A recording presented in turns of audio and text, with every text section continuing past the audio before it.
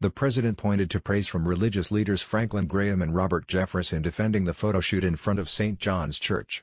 To view the full article, click the first link in the description below.